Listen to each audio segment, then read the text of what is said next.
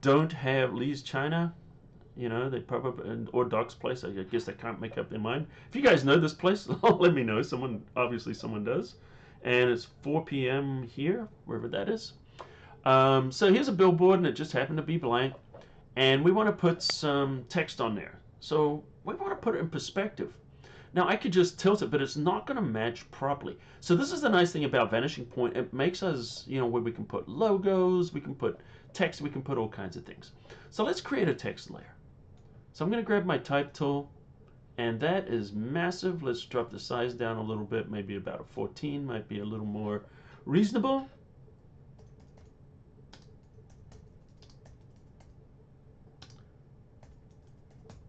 There we go.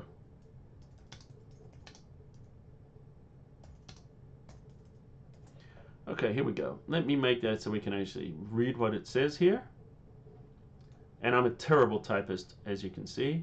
Oh, there we go. Two of those. All right, you don't need teeth to eat our beef. That's a good slogan for this restaurant. Of course, it's takeout only right now. Uh, let me just go in here and I'm going to adjust the type. Oh, you know what? This is a good time to show some new features that you guys may not be aware of. Um, but in Photoshop 2020, they expanded the properties panel. So let me just close this down and I'm going to shut down the type because I was going to go into the type panel.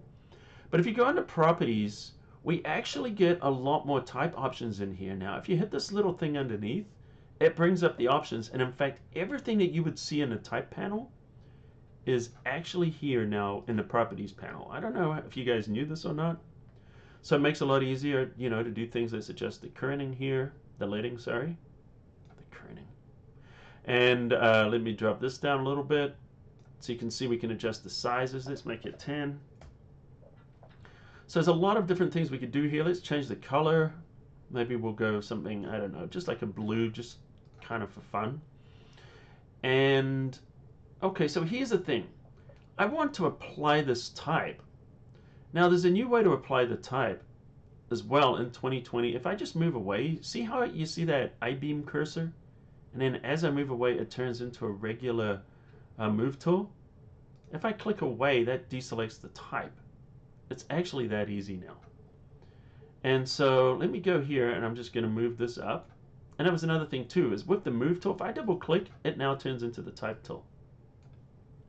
So these are uh, just nice little things that a lot of people just don't know. If you've been using Photoshop for a long time and you know you just haven't really been trying these things out, you know, they're just useful little things that Adobe adds. All right, so what we want to do is we make this type fit on there. So what I'm going to do is I'm going to rasterize this type. So I'm going to right click on the name. Uh, if you didn't see what I'm doing, just right clicking here.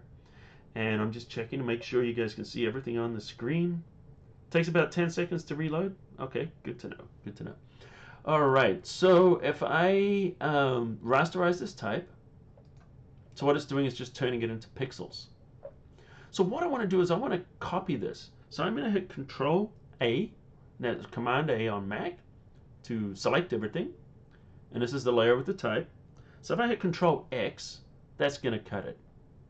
So now it's sitting in the clipboard. And uh, so what we have here is just a blank layer.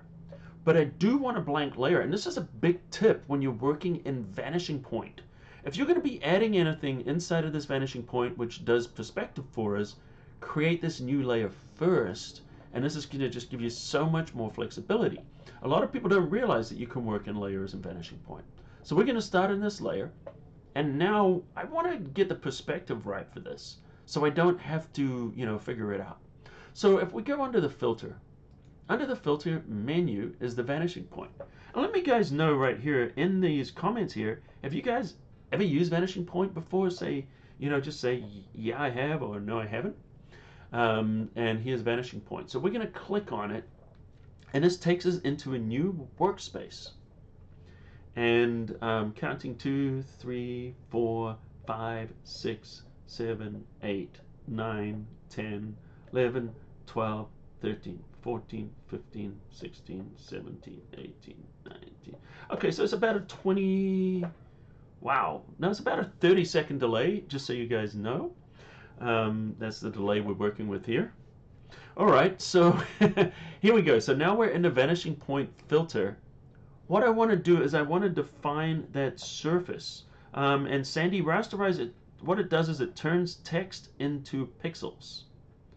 Um, and the reason we want to turn text into pixels is because when it's a, a font, you can't distort it and do um, some things with it like you can. Once it's rasterized, it's treated like a photograph where you can warp it, distort it, paint on it, stretch it.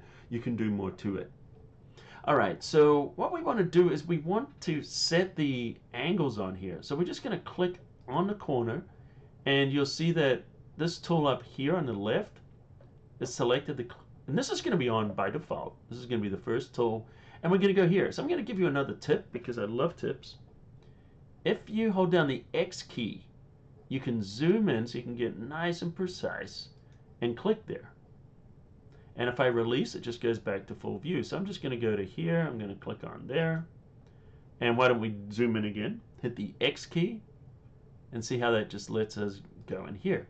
Okay, so a couple of things have happened. One, we now see this grid. When we add that fourth point, what it does is it closes it out and creates a plane. This is just a, poly, a polygonal plane. Too many P's there. Um, and in what it, and when you see here that it's blue, that means it's good. If you see yellow, it means it's it's sort of okay, and if you see red, it means that it's not okay. And what we're doing is we're telling Photoshop this is the surface. And by the way, you can extend this beyond if you want. Look at that. You know, we can make it bigger. It doesn't matter. We just created that plane. And so this is useful, you know, if you're working on multiple surfaces. You know, we could create multiple planes any of these surfaces here, we could create one here if we wanted. We could create another one. Um, in fact, I'll show you how you do it. Just grab the plane tool, click here, go there. And this would probably be a good time to hit the X, but I just want to quickly show you. And then I click there, there's another plane. So you can set, you can create them. Why don't we just, just for fun, I'll create one up here. And what I'm doing is I'm just following that parallel on that window. Let me hit the X key so you guys can see. So here it might be complicated, but if I follow those windows, I know those windows are going to be right, and I want to go to a vertical line. So I can follow that vertical line. I'm going to take it down to another horizontal line. And see what I'm doing? I'm just following those lines, and it creates that perspective for you. And then once I've done that, you know, of course, I can drag this out, and now I can just cover that whole surface. But what I did is I looked for those nice horizontal and those vertical lines so I could easily create that plane. And what we've done is we're defining these surfaces now as the 3D surfaces. We could do it all kinds of different places here, um, but let me show you what we want to do now.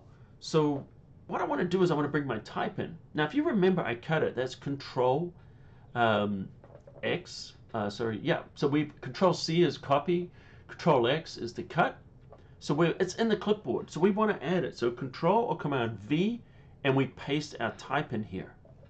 So this is where Vanishing Point gets good.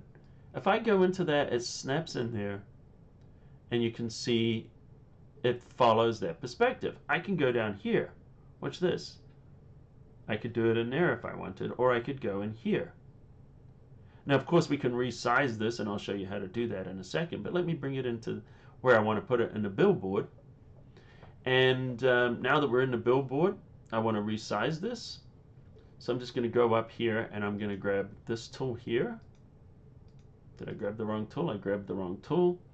There we go. There's the transform tool here. Sorry guys, I haven't done this in a, in a minute.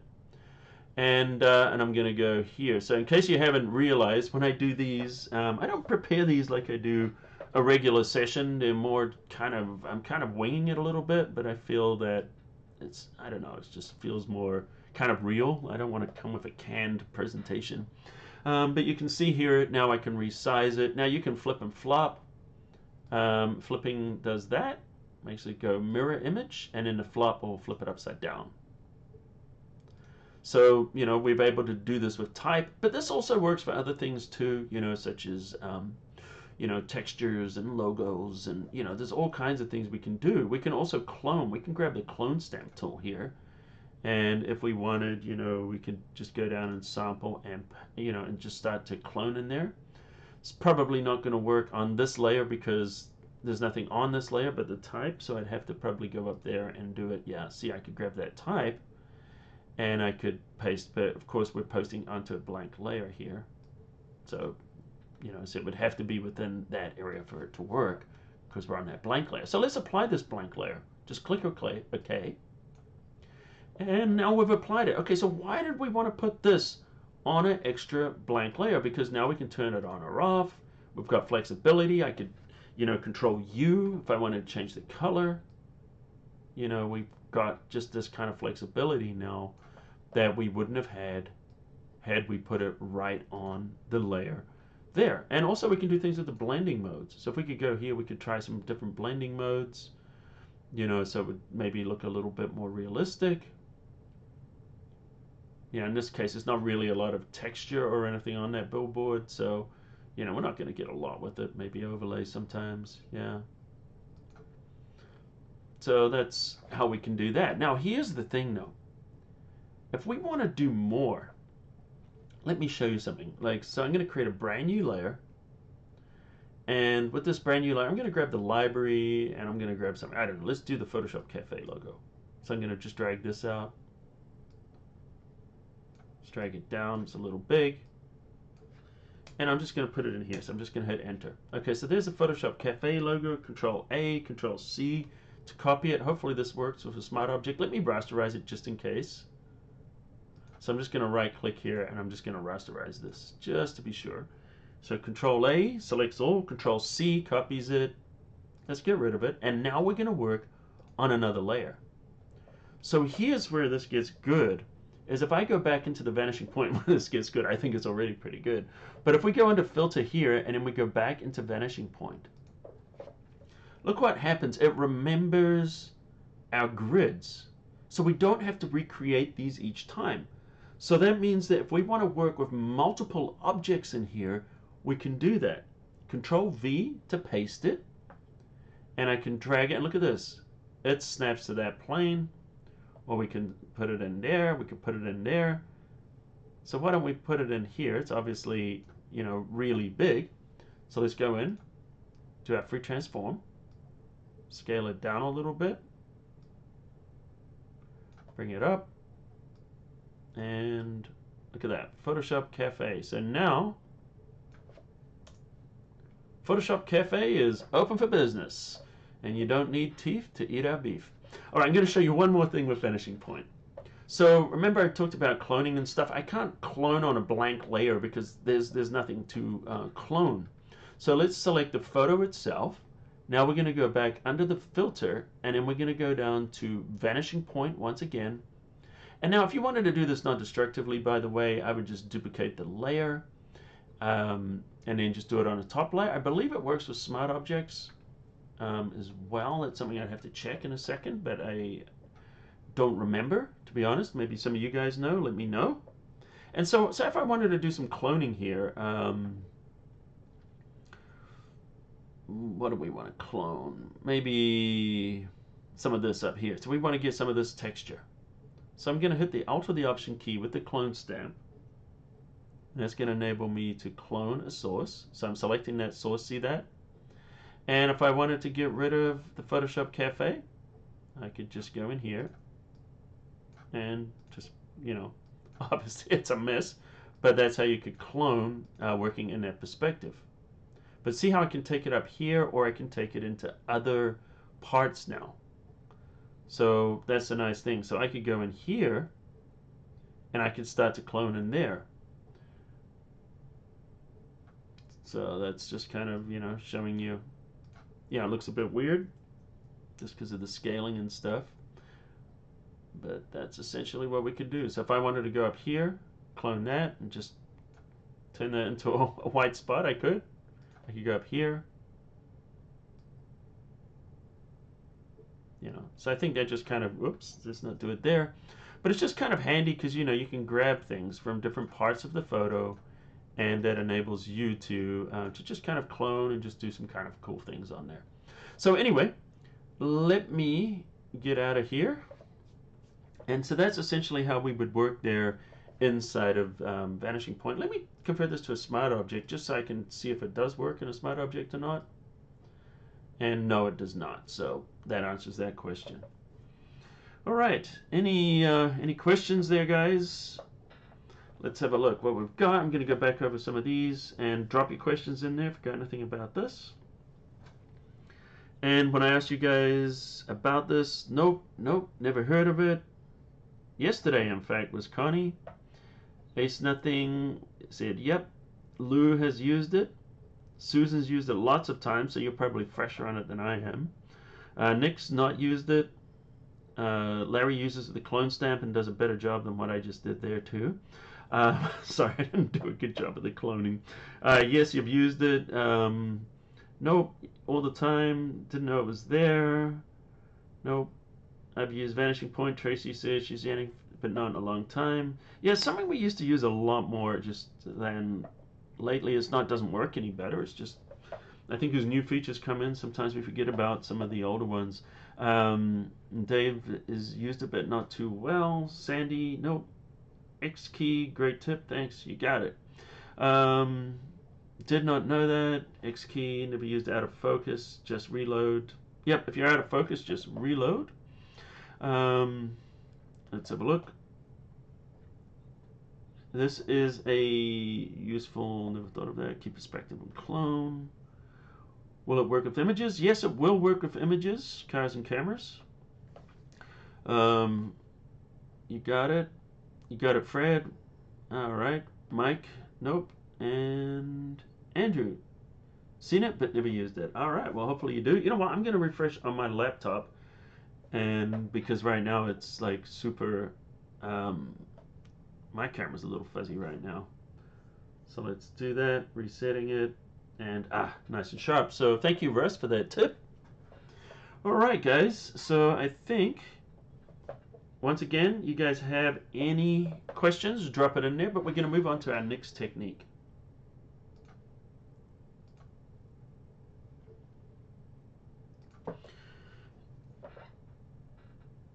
All right, so what we're going to do here is we're going to put this car into motion. Um, this is a car I shot in a parking lot. I could go into a whole story about this, which I won't. Um, but it was uh, it was an interesting photo shoot, uh, where yeah, it just. If you guys ever want to know, ask me. Uh, all right, so here we go. What we've got essentially is a car in a parking lot, and I want to make it look like this car is in motion. So what we're going to do here is just copy it to a new layer and you can see yeah, I just masked it out quickly. The wheels are not done very well, but it doesn't matter. And I, I don't want to go into cutting. I just use a quick selection tool. In fact, I can probably do it in one click now. Let's have a look. Grab a selection tool, any selection tool, just choose select subject. And yeah, look at that. It's pretty good.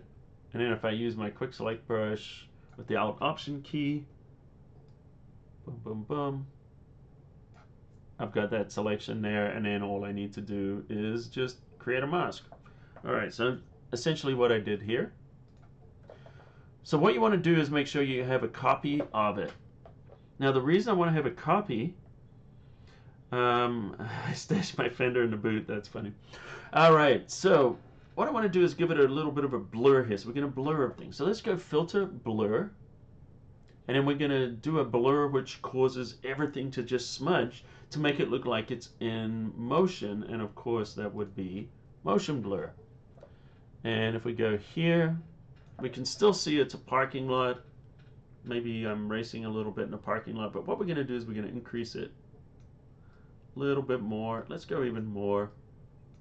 Let's just go to so we can't make out what it is anymore.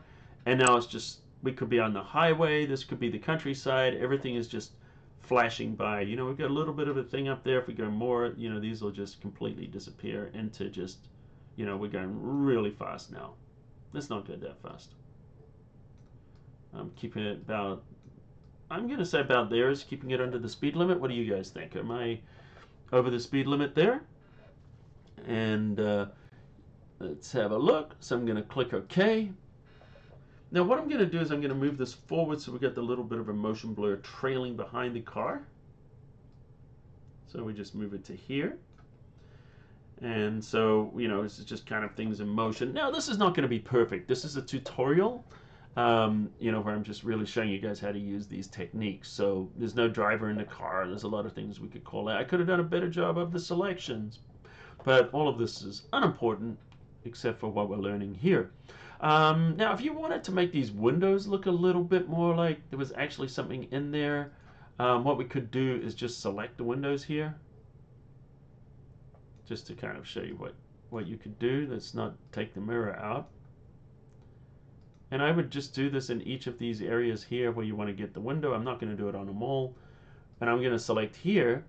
And then all I'm going to do is I'm just going to simply hit the Control Delete, which is the backspace. And all that does is it cuts everything out. Now, of course, what it's going to do is it shows a little bit too much behind it. So let me just add this.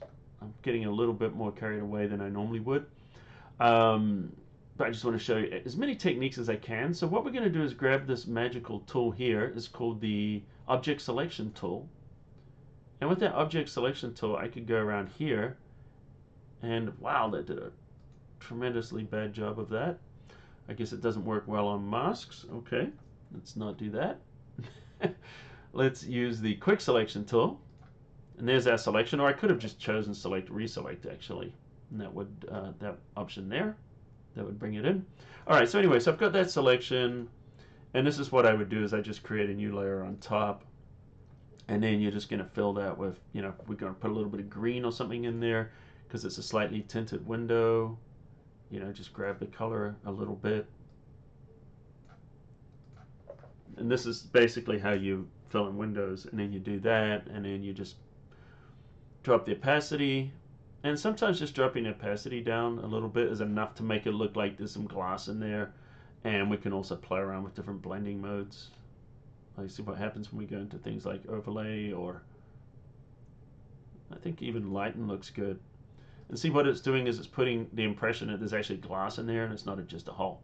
All right, so let's focus on the tutorial now. Let's go back. What we've got a problem here is we've got this car going down the road and it's skidding down the road at a very high rate of speed. Um, in fact, it's probably going to crash because these wheels are not spinning. So we want to make the wheels spin. Make sure the layer is selected. And then what we're going to do is we're going to go under our filter. And under our filter, we've got different types of blurs here. Now, one of them is the blur gallery. This is a newer, I say newer, um, as in you know, it wasn't in Photoshop CS6. It came in CC. And they slowly added them. Started with field, then iris, and tilt shift were the first ones. Then they added blur and spin. So let's look at the spin blur. We now go into another one of these workspaces. See, here's our workspace. And we could change the different types of blurs, by the way, if we wanted here. But I like using the blur gallery for depth of field for a lot of different things because what this does is it is non-destructive and we can keep working easily. So I'm going to click on this pin and I'm going to drag this into the middle of this wheel. Now obviously it's too big so I'm going to squish it down and let's take the sides and we're going to squish the sides and here there's no writing or anything on the tire so I don't really need to spin the tire Although, uh, I see a little tread on there. Okay, let's go up. Okay, so we're to spin the, spin the tires as well. Um, and let me just go see if we get this a little bit better. Now you could spend a bit of time and just make sure you get this absolutely perfect. But uh, for the rest of this, now watch this. If I pull down, see what it does is it spins just the center and as I pull it out, that spreads how much the spin goes. So I'm going to pull the spin, of course, all the way out because I want to affect the entire wheel. And this little thing here enables us to change the rate of the spin. So if you just wanted to have a, just a very, very slight blur, you could go there. Or if you want to go propeller style, go up there, and that gives us a much, much faster spin. Um, in this case, we probably don't have to go that much. Maybe somewhere in here is going to look good. And of course, that's entirely up to you guys how much you want to spin that.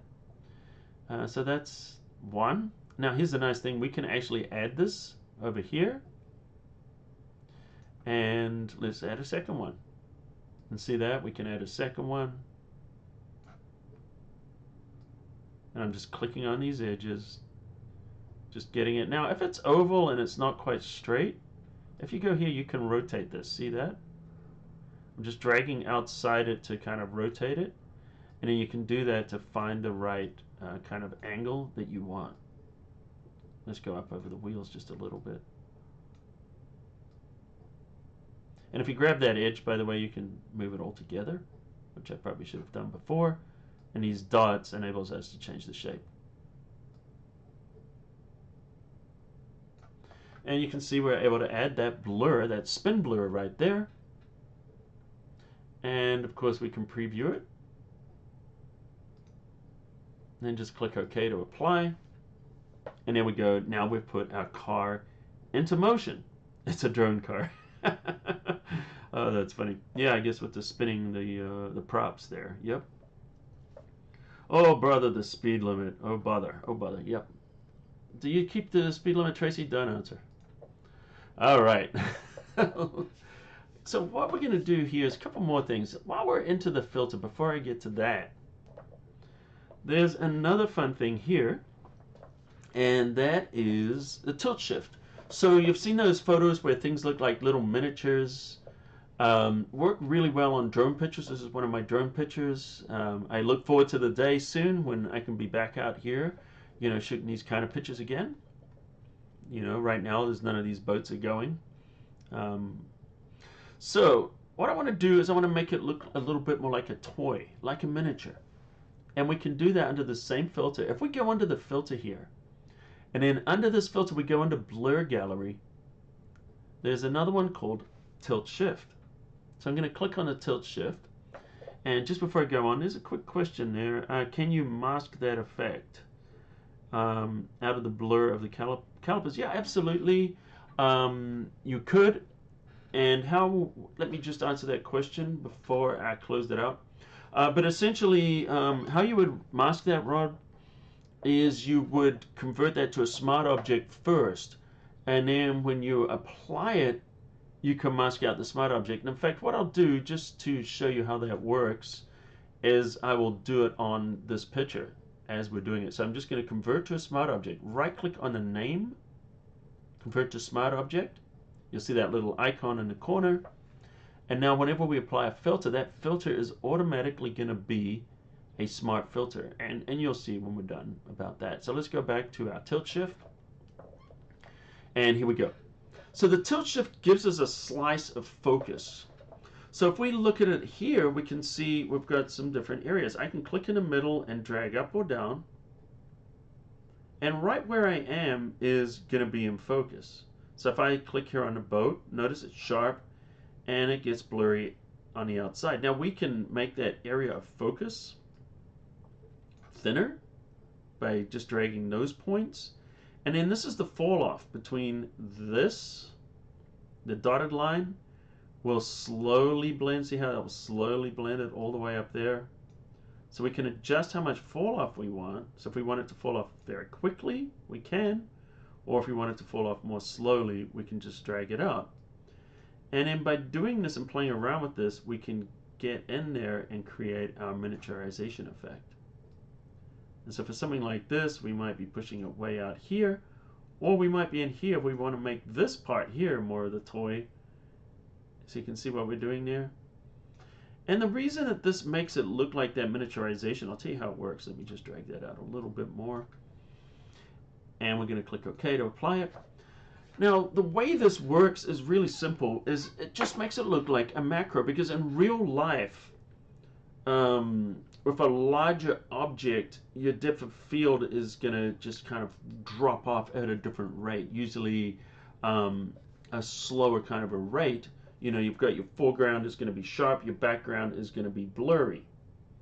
Whereas when you work with a macro lens, it tends to create a more focused area of focus where things just fall off very, very quickly. And then that's what gives it that miniaturization effect because it makes it look like those things are, are smaller. Just because of the, the way the depth of field works is just not what we're used to in real life. Like you would never see this in real life. You'd never get a fall off like that from something that far away unless it's really close and it's really small, which is why this effect works. So it's, it really is just a trick. Now, when we were talking about masking, uh, Rod asked about can we mask the effect. Now, this is a different filter than the spin blur, but it works the same. So when we work with a smart filter, you get a layer mask here. And see that mask is black? Ah, sorry, that mask is white. So what we want to do is just select that mask. And then if we grab a brush and we set the color, the foreground color here, to black. Now we have a brush and as of all masks, if you want to get rid of the effect, you just paint. And see what it does is it paints away that effect wherever we paint. So we could go like this and just really change this. You know, just painting across there. And we're changing this. It doesn't look like a miniaturization anymore. It's becoming a completely different kind of style of picture. So now the background just looks soft and out of focus. Looks more like a, a photo with a little bit more uh, shallow, a little shallower depth of field.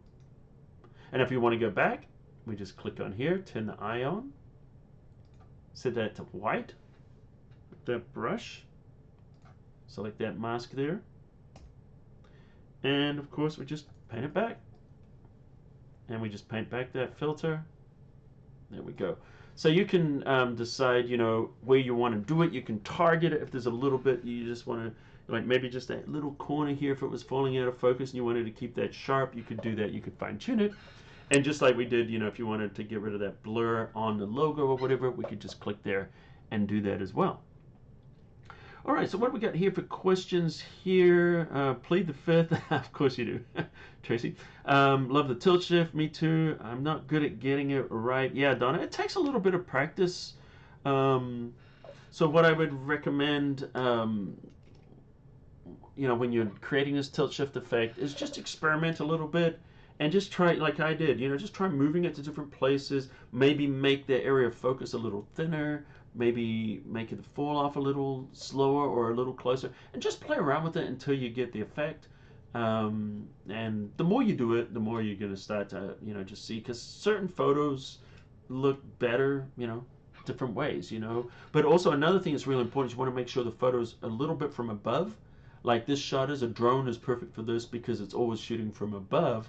And when you're shooting from above, it's more natural because if you were shooting, uh, you know, like a model or something like that, a lot of the time that's the kind of viewpoint you'd be looking at it because you're big, it's small. You know, yeah, you could get down and in there, but uh, you know, to sell the effect, a lot of the time you're looking down on it because you're taller or larger than that object. So when something's underneath you, it always makes it look smaller, whereas above you, it makes it look bigger. All right. Any questions? Sure glad you didn't buy a tilt shift lens years ago. So much more precise and controllable. Yeah, but uh, you know, tilt shift lenses are fun. Um, and I actually got the the one I used was the Lensbaby one, uh, which was actually a lot of fun and it's not that expensive.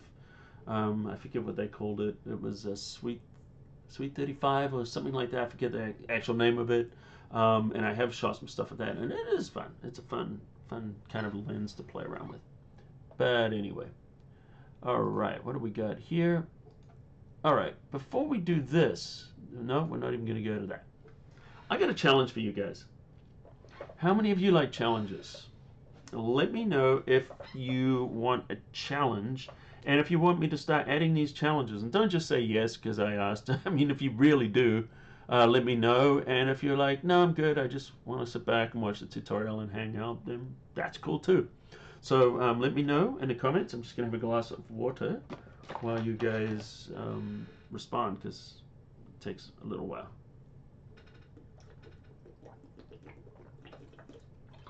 The Lensbaby was the one you wanted. That's awesome.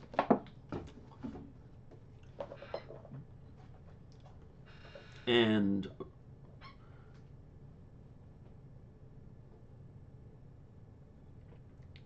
Yep, and that's the type of effect you prefer to do manually. That's cool. Tracy, me. Uh, Tracy wants a challenge. Russ wants a challenge. All right, so we're going to start off with a, just a, a, simple challenge. And uh, it seems easy, right? What we're going to do is we're going to memorize the tools inside of Photoshop. Now, here's a toolbar let me show you something in case you didn't know. This little arrow here enables you to go double column. That's how Photoshop used to always be. And for the longest time, I worked this way. I actually prefer working this way, but a lot of the time I will do this for tutorials because it looks like everyone else's toolbar. But for me, I actually prefer it like this. Um, love to know what you guys prefer it. But here's the challenge we're going to have. It's going to speed you up so much if you just remember the keyboard shortcut for the tools. I mean, maybe the tools you're not using much, it doesn't matter so much. But look at on here. So I'm going to challenge you. Look on here and look at the five tools that you use the most that you have not memorized these uh, keyboard shortcuts. Now just take a screen capture of this or um, you know just come back. The replay will be up 30 minutes after we're done so it'll be here. Um, it's also in our facebook group. If you guys are in the facebook group um, it'll be there. If you're not in the facebook group you can easily join. Just look go into facebook and search for photoshop cafe and it's called photoshop cafe um, what is it? Photoshop let me show you. Let me go here really quickly. Facebook so I want to challenge you to learn those five keyboard shortcuts by next week that you use the most. And um, let me show you if I go and search for the groups, this is it here. So if you go onto Facebook and ah, political nonsense all over the Facebook. Um, but anyway, um, if you go in here, no offense to Robert, by the way, just, you know, I mean, like, I'm not even looking at what the story is. I'm just tired of politics at the moment. Um, but anyway, um, it's the way United States is at the moment. But here it is, Photoshop Cafe, photo art tutorials and challenges. So just put in there and just type Photoshop Cafe, and you'll see a Photoshop Cafe art tutorials and challenges. That's our group there. Click on it. It'll send a um, an invite. I'll accept you guys, and you can be part of that. And this is also in there, so if you're looking for that. So how many of you are going to do that? How many of you are going to commit to learn those five tools? If you know them all except for five, learn those five. If you're an overachiever, learn them all. You can do it vertical, of course, Fred. Yeah. oh, sorry, hang on. I think you're asking a different question here. Please challenge me. Okay, only a landscape effect. No, um, the tilt shift can work vertically as well. You can rotate that, so um, it'll work vertical or remember. There's a few you can't remember. Okay, so overachievers learn them all. Um, regular people just learn five, which means, you know, basically one a day, take the weekend off. But if you learn one of these each day, you're going to have this memorized just in a couple of weeks. And think about, you know, what that's going to do for you for all the years going forward in Photoshop. Now, there's a couple of things on this tool that I'm not showing on this, couple of little tips. Uh, if we look on here, say for example, the M key is our marquee. So if I hit the M key, it's going to select the marquee. But we know there's things underneath there. There's different types. And a lot of these have different types. So here's the, the trick. Hold down the shift key and then hit the M key again. And now it becomes elliptical. See how we can cycle between them? So that's uh, kind of a useful thing. And as far as it going down and grabbing the single columns, no, it doesn't because there's no keyboard shortcut. You can see there's the, the shortcut. But I mean, it's not that very often anyone's using the single columns. They're super useful when you do, but it's not an everyday task. And you know, just like W here. So we hit the W there, and if we hit the Shift W, see now it cycles between different tools. And if we open it up, we can see there's three tools there. And when you see the W there, it means it's going to cycle. Now, if you really did want to be able to cycle into these single column, you could set them up in the keyboard shortcuts. You can modify those. And in different things like the pen tool. So this is going to toggle between these three, gradient, so I think you guys get the idea.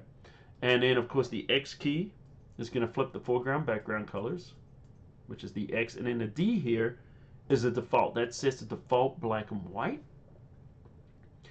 And, um, and if you ever wonder about the smudge tool here, there are no keyboard shortcuts set to that at the moment. So if you wanted that, you would have to set your own custom one. I guess Adobe figured people don't use them that much. Um, so anyway, so those are the different things. And then of course we've got quick mask, which is the Q key. turns on and off quick mask, and then F key cycles screen modes. We go to full screen presentation mode and F back to normal. Another thing, if you're in the first setting here, I've got a custom keyboard, uh, custom background here. So it's the default. If you want to change it, you can select a custom color. Just give you a couple little tips here, which, you know, if you really want to shock people, um, do that. Um, or maybe something a little bit more reasonable would be, you know, okay, here we go, St. Patrick's Day. But let's not make it so bright. Oh man, oh, it's bright. There we go, St. Patrick's Day. British Racing Green. Uh, okay, that's wrong. All right, I'm going to stop before I get myself in trouble. Um, but when we're in here, if I hold the space bar down, I can actually move my document when I'm in that F key. When you're in, in your regular space here, you can't move the document. So if you hit the F once, notice it hides the toolbars at the top, but it enables you to move things around, full screen, and then back to our regular uh, Photoshop. So that's the different things we can do with that.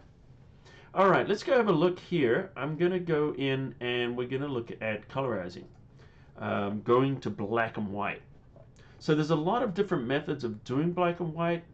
Maybe at another time we'll go more in depth into this, but I'm going to show you guys the basic way of doing it.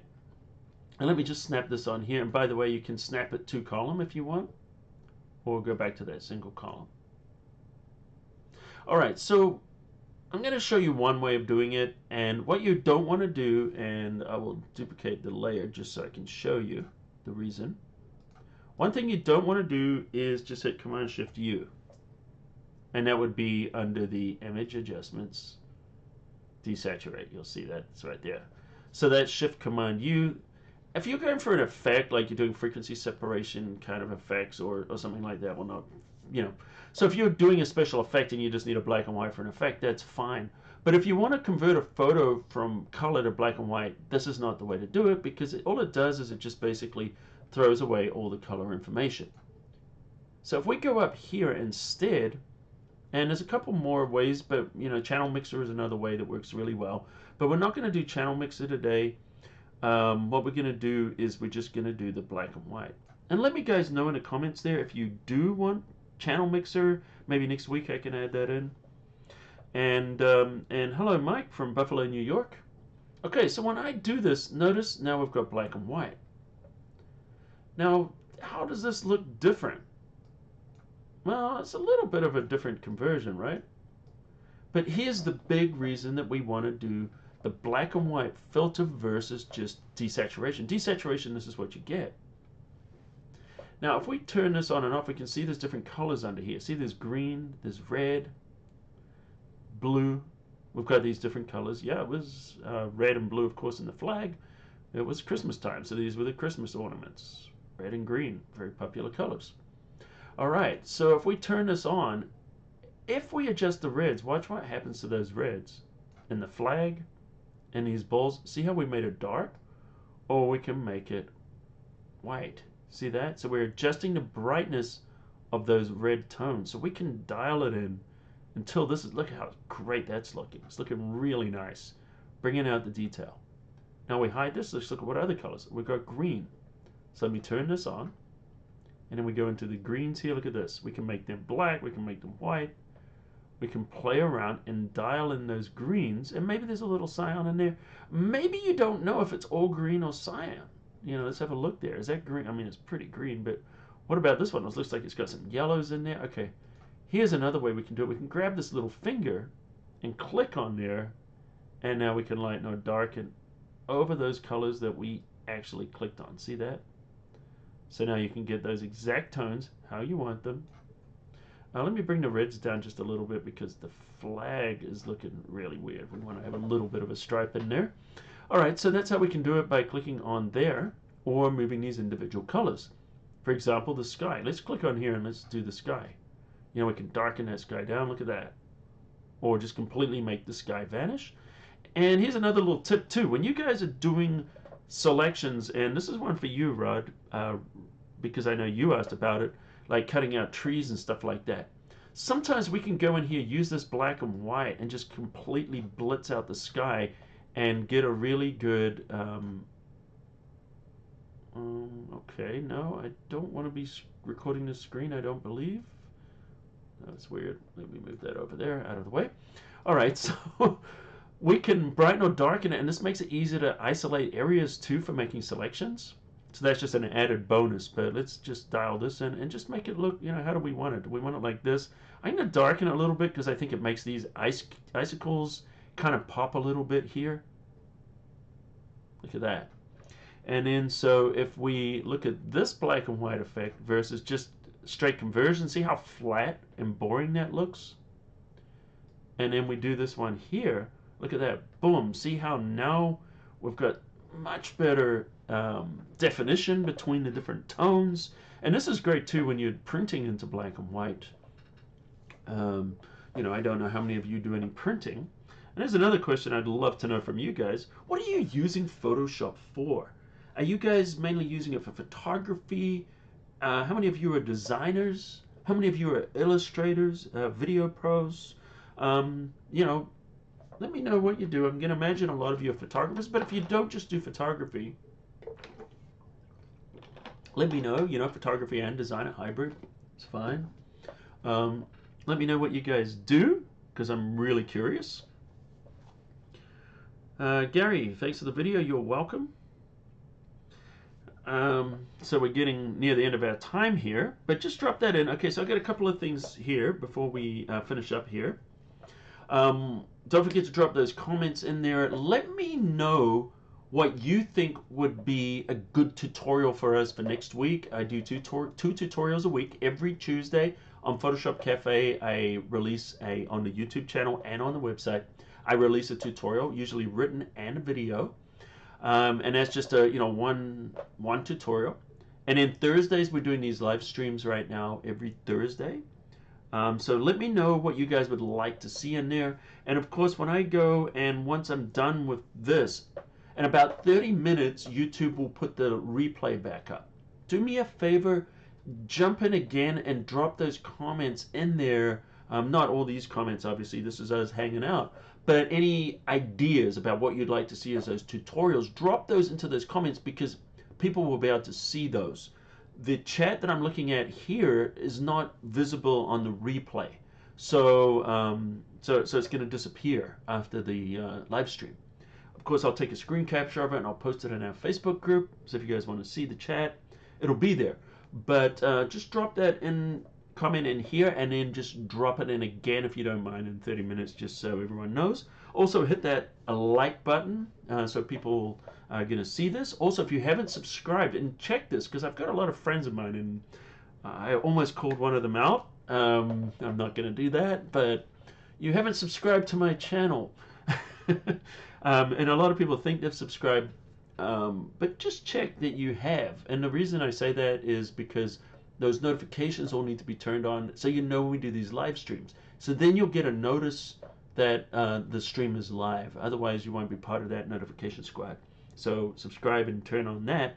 And then there's another thing people have asked about, and I'm going to share this with you guys. And um, by no means feel any obligation at all because there shouldn't be. But I did have some people ask me, um, and I'm not selling anything on here. There's not going to be a sales pitch. There's nothing like that. People have asked me. They said they wanted um, a bigger discount for this time for our premium courses at PhotoshopCafe.com. Um, and that's all I'm going to say here is I'm doing a 20%, which is our launch special. I'm bringing back all our launch specials on all our products. So it's going to be the code is wash hands. and that'll be live for about a week or so. So for those people that missed out on those launches, that's there for you. So anyway, guys, yeah, the time has flown. Um, so I'm going to be back next week. I hope you're all going to come back and join us next week. Looks like our little crew's growing. Thanks, guys, for coming here and, and hanging out for an hour and having a little bit of Photoshop fun.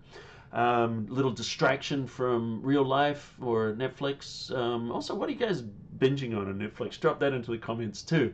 So, what I'm going to do is I'm going to end this live stream um, and I'm going to hang up and I'll just give you like maybe five minutes. You know, if you guys want to chat or whatever, I'll just leave the chat running for a little bit.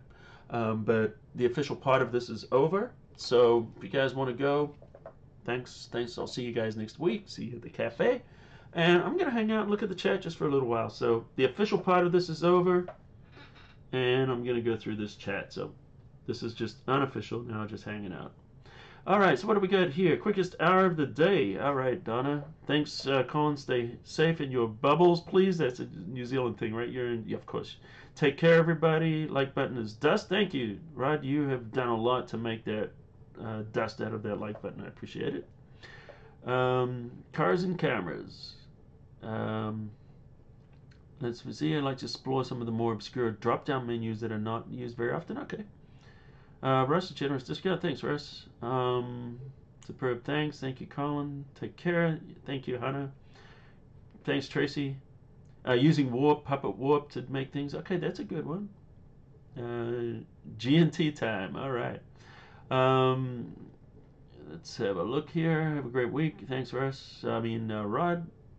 Joe Exotic on Netflix. Oh, yeah. I haven't seen that. I might check it out.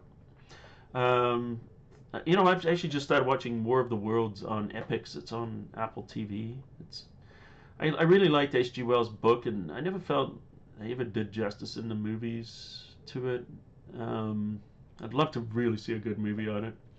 Um, but you know, the show's kind of fun. I mean, it's really straight from the book, but you know, uh, it's mean Netflix anyway. Um, last ten minutes got blurry. Sorry about that. The replay should be sharp though. Um, and also so just check that out. Uh, Whoop Tool video, okay.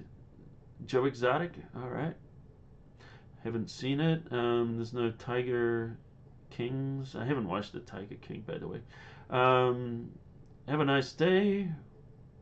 Wasn't using a face mask. This he's a, spreading a computer virus. That's funny, Bull. Um, when is part two of the working from home tutorial coming out? Yeah, that's coming out um, by this weekend, maybe Saturday at the latest. I'm gonna try to get it out tomorrow, maybe Saturday where it's all the gear. I've shot it, I just have to edit it. Hey Ralph, how are you? The like button is the thumbs up. Good to see you, Ralph Nelson. Um, I hope you're enjoying your tequila in isolation. Um, Yes, do a tutorial of the transform tool, perspective tool, warp tool. Okay, good suggestions. I uh, learned a lot. Thanks, Marlene. Let's review a very good frequency separation. It's extremely important after post-processing. I know you do that very good. Well, thanks. Thanks, Freddie. Uh, Tampa, Florida. Yeah. Say hi to Bruce there. Uh, there's a good guitar. How many of you guitarists? Thanks, Russ. Great session. Uh, pro photographer Fred. See you next time. I'll ask you a question in the comments section of the posted version of. Okay, sure, please. And I will jump in and answer those. By the way, reloading YouTube fixes the blur. It does. Um, okay, what else? I know I'm a geek. Uh, and you're a geek too, right? Yep. Can't spell? That's okay. I can't spell either. Um, and next session, nice riff on my guitar. Ah, you're welcome, Ralph. Uh, thanks, Colin. Have a good weekend. Maybe I'll think about it. You know, as far as the guitar, we'll see. We'll see. Um, hope you're doing well. If everyone out there, and I am, and Fred wants frequency separation. So, all right, guys, I am gonna call it a day.